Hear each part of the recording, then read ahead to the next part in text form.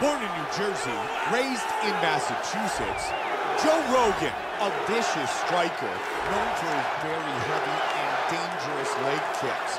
Rogan has been a martial arts practitioner pretty much his entire life. He loves to compete, he loves to stand and trade, and he loves to put on a show.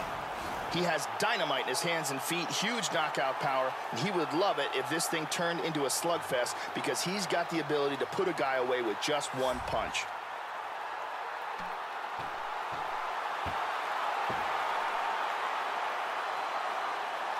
Joe Rogan, ready to fight tonight here in Las Vegas. Knockout, man, knockout, man. Got the full mount, secured the position, and dropped bombs.